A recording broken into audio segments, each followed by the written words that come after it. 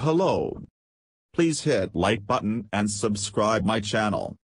Also press bell icon for future video notifications. Thanks.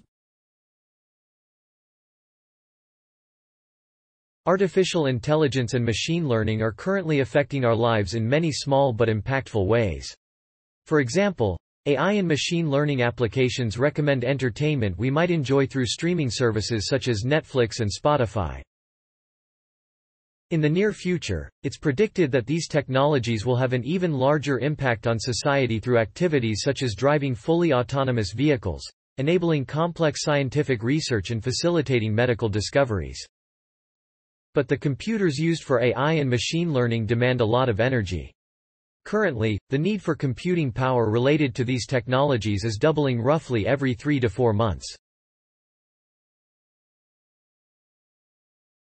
And cloud computing data centers used by AI and machine learning applications worldwide are already devouring more electrical power per year than some small countries. It's easy to see that this level of energy consumption is unsustainable.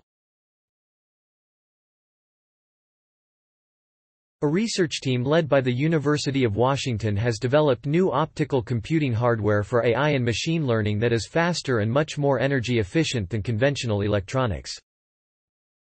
The research also addresses another challenge, the noise inherent to optical computing that can interfere with computing precision. In a new paper, published January 21 in Science Advances, the team demonstrates an optical computing system for AI and machine learning that not only mitigates this noise but actually uses some of it as input to help enhance the creative output of the artificial neural network within the system.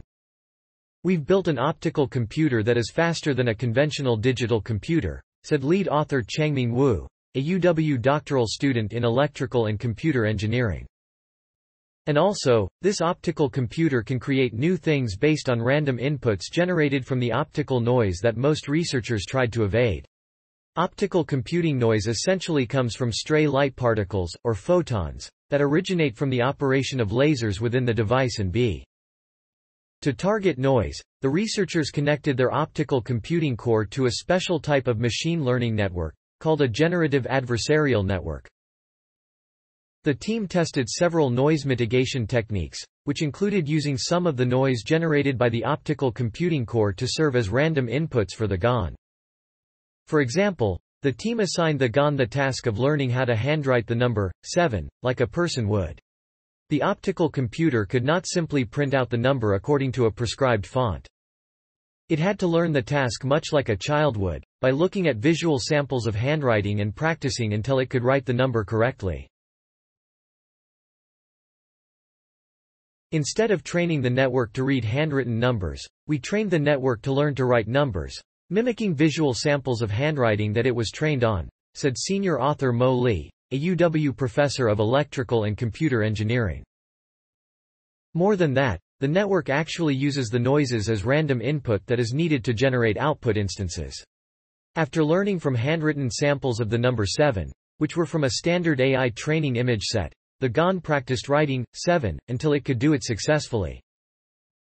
Along the way, it developed its own distinct writing style and could write numbers from 1 to 10 in computer simulations.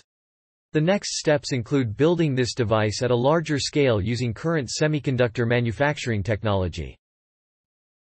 So, instead of constructing the next version of the device in a lab, the team plans to use an industrial semiconductor foundry to achieve wafer-scale technology. This optical system represents a computer hardware architecture that can enhance the creativity of artificial neural networks used in AI and machine learning, but more importantly, it demonstrates the viability for this system at a large scale where noise and errors can be mitigated and even harns.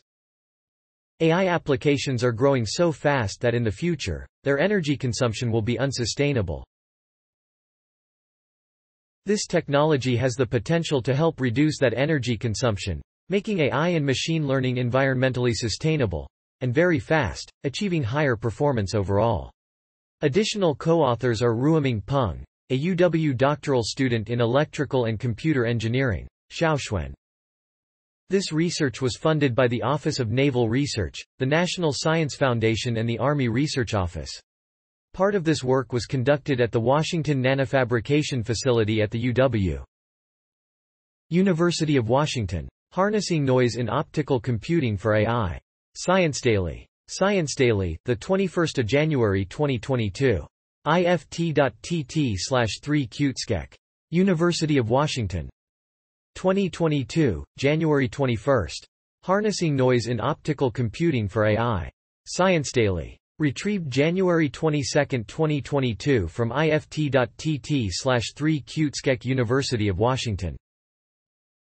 Please support my channel to grow by pressing subscribe button and the bell icon, we will notify you technological news. Thank you.